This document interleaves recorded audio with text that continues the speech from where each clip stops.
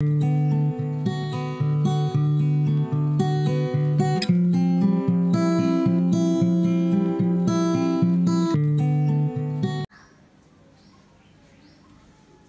everyone welcome to the second part of the of the series so in the last video we have seen how to solve the sum by elimination method and as if i have told told you कि हम आगे जो sums देखेंगे वो last वाला जो सम हमने किया उससे थोड़ा सा हार्ड होगा so let's see the next sum which is we are going to solve here is 8x plus 5y equal to 9 3x plus 2y is equals to 4. So this is the sum which is little complicated as compared to the last sum which we have already seen in the last video.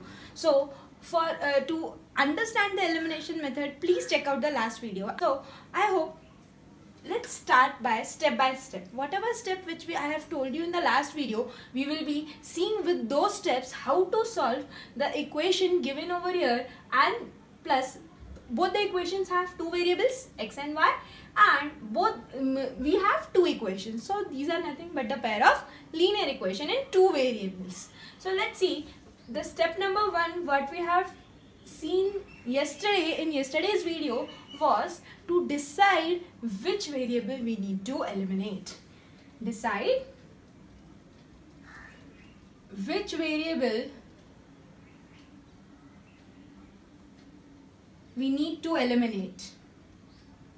तो कल के सम में हमने देखा, हमने जो eliminate किया था, हमने एक्स को किया था। एंड मैंने आपको कल भी बताया था कि हम कोई भी वेरिएबल को एलिमिनेट कर सकते हैं। तो आज हम वाई को एलिमिनेट करके देखते हैं। Say Y we need to eliminate say Y we need to eliminate अभी हमारा सेकेंड स्टेप था द स्टेप टू वॉज़ कि जिस भी वेरिएबल को एलिमिनेट करना है, उसके कोएफिशिएंट्स सेम होने चाहिए।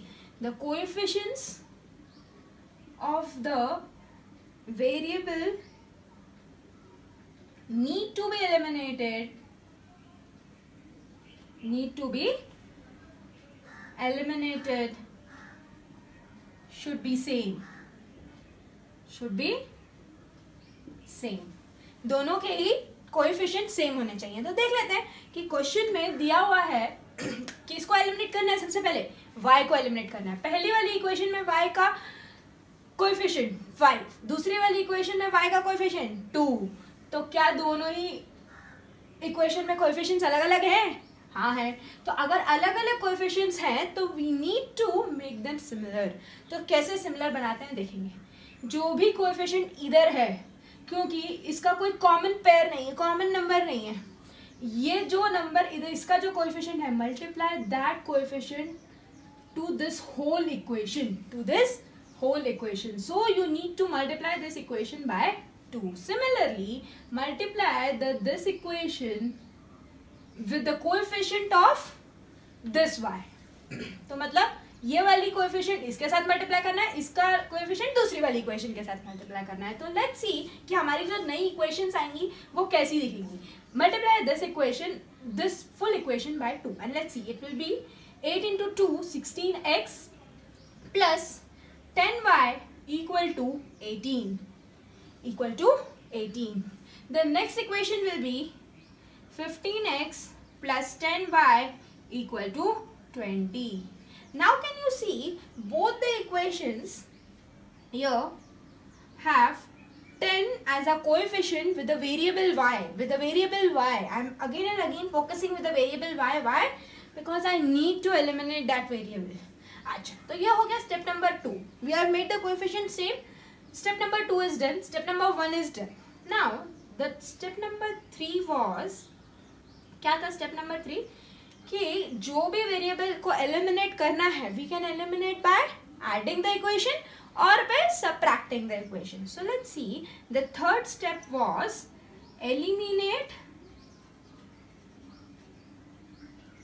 the variable by adding the equations और by subtracting the equations adding it और by subtracting it. Now, as you can see here, the equations which we have got by multiplying the constants over here and the coefficient is same. Third step में हमने बोला कि हमको addition करना है या subtraction करना है दो इक्वेशन का टू एलिमिनेट द वेरिएबल अभी यहाँ पे दोनों में प्लस का साइन है तो दोनों में प्लस का साइन है तो हमको सप्रैक्ट करनी पड़ेंगे। अगर हम ये दोनों इक्वेशन एक दूसरे में से सप्रैक्ट कर दे तो ten Y minus ten Y will become zero so let see अगर सप्रैक्ट करना है तो इधर माइनस का साइन आ जाएगा. The signs will change and let see sixteen X minus fifteen X will be nothing but X and this will be cancel eliminated eighteen minus twenty will give you minus two so this is nothing but my value of x. X comes out to be minus two जैसे कि मैंने आपको कल भी बताया था कि अगर आपको एक वेरिएबल की वैल्यू मिल गई है तो आप दूसरे वेरिएबल की वैल्यू ढूंढ सकते हैं by putting this one value in any of the given equation in any of the given equation suppose मैं दूसरे वाले इक्वेशन में डालती हूँ। हमारे को दी इक्वेशन क्या थी? Three x plus two y is equals to four now put the value of x in the equation what we will get is is equals to 4 it will be minus 6 plus 2y equal to 4. 2y, take this 6 constant on one side, variable on another side. 4 plus 6. 2y is equals to 10. The y will come out to be 10 divided by 2 and nothing but 5. So the value of x as well as y has been calculated. So this is how we can use the approach of elimination method to find out the values of the given variable in any of the equation. Now, let's just, I hope up till this it must be clear to all and now we can see how we can proceed with more difficult sums as if I will be explaining with the third sum to you. Here we can see the sum 3, sum 3 of the elimination method. अच्छा अभी तक हम लोगों ने जो भी equations देखी थी can you see the over the sum is little bit different than the previous two sums it is 2 upon x 2 upon 3y is equals to 1 upon 6 the next is 3 upon x 2 upon y is equals to 0 so what difference we can make out from these equations are दोनों ही इक्वेशंस में दो variable हैं।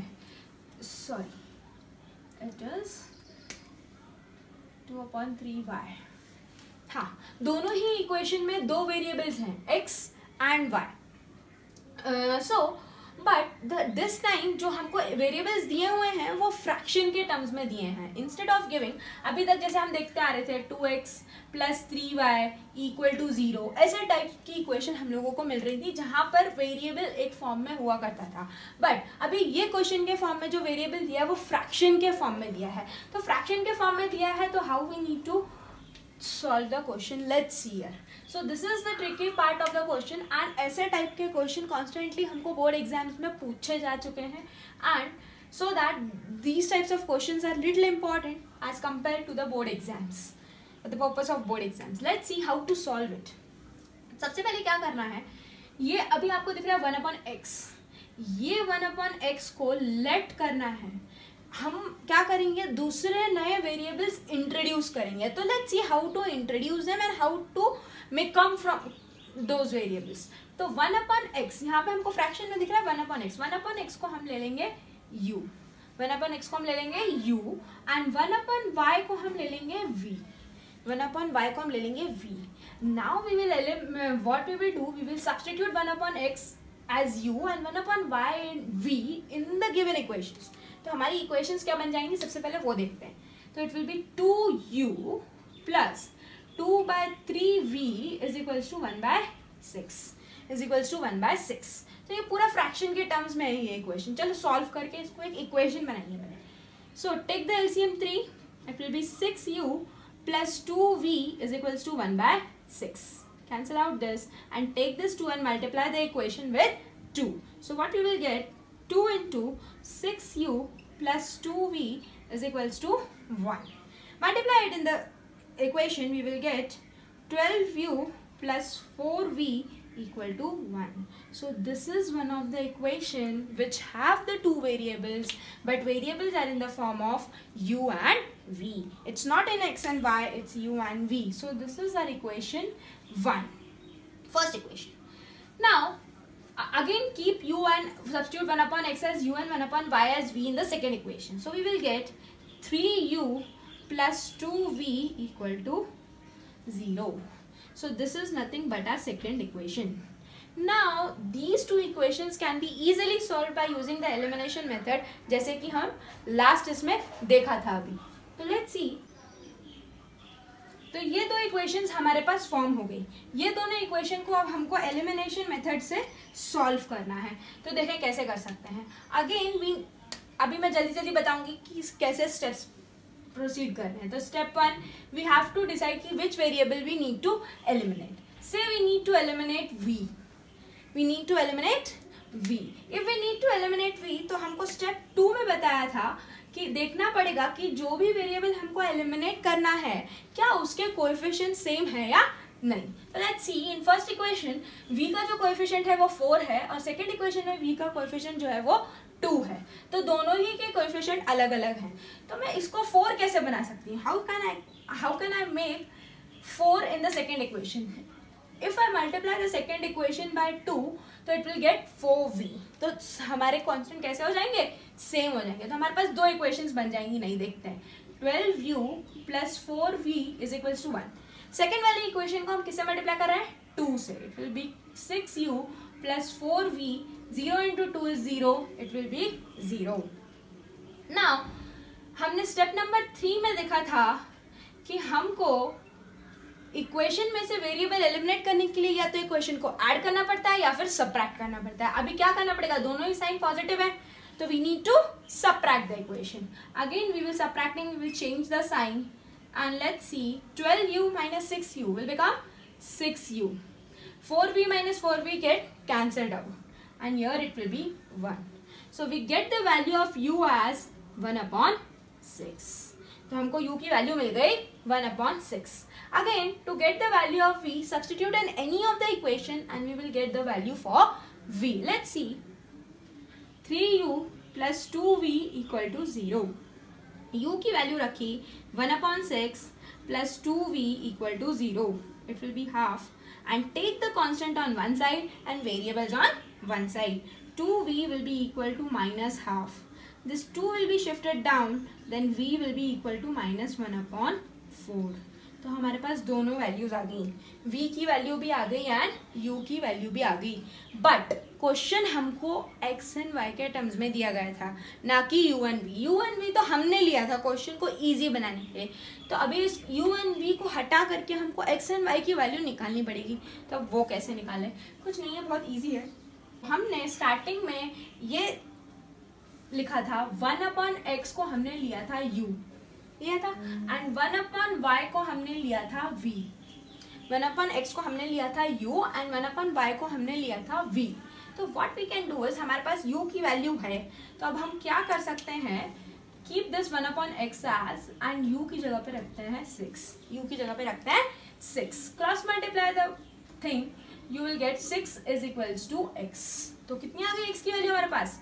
X की value आ गई six now we are getting x is equals to 6 in the similar fashion 1 upon y is equals to v की value थी minus 1 upon 4 minus 1 upon 4 again cross multiply it you will get the value for y let's see 4 is equals to minus y कभी भी minus का sign variable के साथ नहीं रखते हैं so we will shift the sign to the next side and the value of y will come out to be minus four so I hope this much is clear to you कि हमने x की value and y की value कैसे निकाली।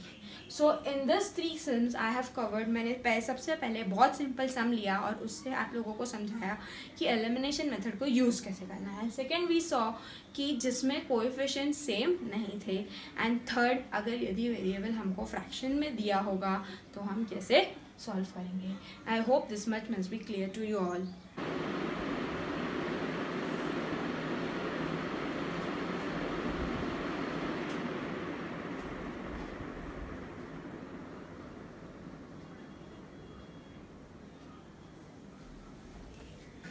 So these are the four sums which are there for elimination method which you can practice it and have a good insight on elimination method how we can solve by the elimination method. And of course there are uh, your NCERT books where the sums are being given in the NCERT books. You can practice them for your exam point of view. And as I have solved the last three problems and these four problems will give you a very nice insight how to use the elimination methods and find the uh, values for x and y for this particular method i hope you like my content and please share like and subscribe it and share it with as many friends you have so that everyone can be benefited with these series so Uh, अगर ये आप series में बने रहना चाहते हैं अगर आप पूरा चैप्टर समझना चाहते हैं तो प्लीज़ ये सीरीज़ में बने रहिए goodbye have a nice day